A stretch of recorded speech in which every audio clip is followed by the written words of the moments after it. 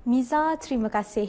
Pusat Transformasi Luar Bandar RTC Tunjung Kota Baru sejak semalam menjadi tumpuan awam dengan berlangsungnya Pesta Orkid Flora dan Herba 2018. Penganjuran selama 10 hari itu dijangka mencatatkan nilai jualan melebihi 1 juta ringgit. Pengarah Fama Negeri Muhammad Arifin Awang mengakui penganjuran ketika musim cuti persekolahan antara faktor untuk mencatatkan angka kehadiran lebih 250,000 pengunjung. Selain jualan dan pameran tiga segmen utama iaitu orkid, flora dan herba, pesta ini turut dimeriahkan dengan 20 acara sampingan seperti pertandingan seni dan suara emas, konsert muzik karya Kelantan FM, nasyid serta jualan makanan popular Kelantan malah jualan jimat belanja dapur serta pendaftaran usahawan agrobaza secara dalam talian turut ditawarkan. So kerajaan Musim Farma buat khusus lah, free lah kepada mereka. Ha, so kalaulah uh, peminat-peminat di luar sana, siswa-siswi uh, di luar sana yang berminat dalam bidang keusahawanan online ke offline ke, silakanlah daftar diri di online Farma tu, nama web Farma dan kita sedia membantu. Beliau sebelum itu meninjau tapak Pesta Orkid Flora dan Herba 2018 di RTC Tunjung, Kota Baru. Majlis Perasmian malam esok bakal disempurnakan Menteri Perdagangan Antarabangsa dan Industri, Datuk Seri Mustafa Muhammad.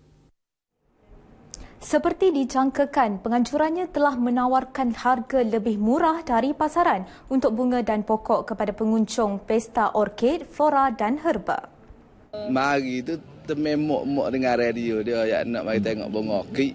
Ha, tu yang mari tengok-tengok bunga orkid. Kalau ada hak kena. Uh, kita tengok memang banyak macam-macam eh. Banyak macam-macam model lah. Dari segi harga kan nak Harga boleh kira lah. Bunga orkid tapi kali ni kak di bunga kertas. Hmm. Dari segi harga macam mana kak tengok? Berbanding dengan pasaran harga, luar lah. Memang murah lah. Kak biasa beli gi ikut nursery-nursery kan. Hmm. Hmm. Tikahlah sikit lima ya. Malah pendekatan Farma Kelantan ini antara yang terbaik dalam membantu usahawan mempromosikan produk masing-masing secara terus kepada orang ramai, khususnya peminat bunga.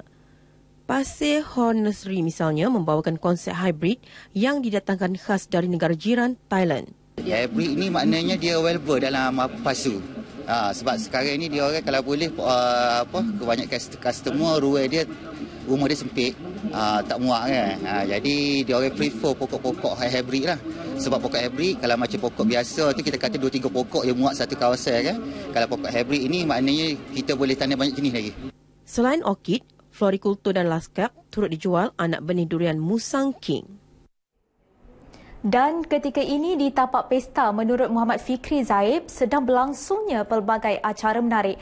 Antaranya pertandingan gubahan bunga antara agensi serta pengamal media. Fikri teruskan laporan semasa anda di lokasi. Terima kasih Wani di studio. Uh, saya ketika ini berada di tapak lokasi di mana berlangsungnya pertandingan gubahan bersama media sempena pesta kali ini.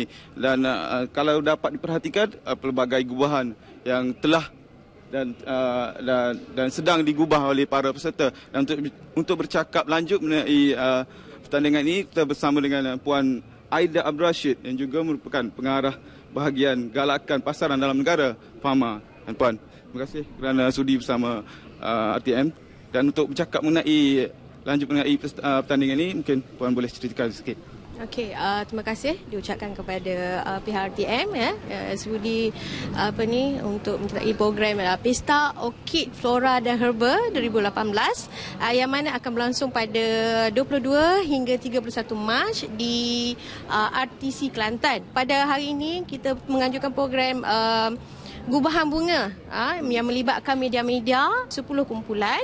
Uh, tujuan utama kita mengadakan program uh, pertandingan ini adalah untuk merapatkan lagi uh, uh, kerjasama di antara media dan juga pihak uh, agensi uh, dalam pada masa sama juga untuk uh, uh, apa dari segi publicity eh, uh, dan juga eh bahan berkenaan dengan program uh, kita pada hari ini. Dari segi hadiah ni macam mana mungkin? Okey, hadiah uh, kita uh, agak agak orang kata apa lumayan jugalah eh walaupun ini adalah pertama kali kita ada hadiah dari segi wang tunai dan juga hamper daripada pihak Fama. Hari ini mungkin kesinambungan untuk uh, uh, untuk program-program lain uh, pada pesta kali ini ke macam mana? Okey. Program Pesta Orchid uh, Flora dan Herba kita ada uh, selama 10 hari dan pelbagai pengisian sebenarnya telah kita aturkan untuk uh, orang kata menarik lagi pengunjung-pengunjung ke Pesta Orchid pada minggu ini. Dan uh, sebahagiannya adalah orang kata apa aktiviti yang melibatkan uh, sinonim dengan uh, Kelantan itu sendiri. Uh, seperti uh, pertunjukan kebudayaan uh, dan juga persembahan daripada uh, pesilat daripada DK Barat dan wayang kulit Ha. Okey, terima kasih Iqbal uh, kerana sudi bersama RTM. Dan uh, tak cantik rasanya kalau kita tak interview sendiri uh, para peserta itu sendiri. Ya. Yang mungkin uh, bersama kita, saya ketika ini adalah wakil daripada Cosmo Kelantan. Nur Afikah Nur. Jadi, Afikah, macam mana? Uh, mungkin kali kali pertama ke macam mana?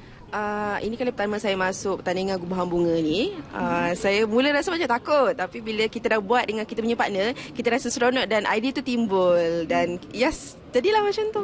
Jadi, dan happy lah. Pemilihan tema. Uh, tema dia kami memilih uh, sebab dia berkaitan dengan wanita, so kami memilih tema timbunan cinta di laman fama. Macam mana setakat ni gubahan tu? Dah dah siap ke macam mana? Uh, setakat ni uh, uh, kami dah siap gubah bunga kami. Uh, kami hanya masa lebih kurang macam 25 minit lah untuk gubah bunga tersebut. Hmm. So uh, kami gubah ikut uh, uh, idea serta idea spontan sebenarnya. Hmm. So kami gubah, gubah, gubah, gubah, habis tu dah siap. Okay. Jadilah bunga uh, timbunan cinta di laman Fama. Okay. Okey, okey, uh, saudara itu saja mungkin uh, daripada saya kali ini uh, kembali kepada Wani di studio untuk berita selanjutnya silakan. Laporan itu menutup perkembangan dari negeri Cik Siti Wakembang. Kembali semula ke Studio 3 Angkasa Puri bersama rakan setugas untuk laporan lain N5. Silakan Miza.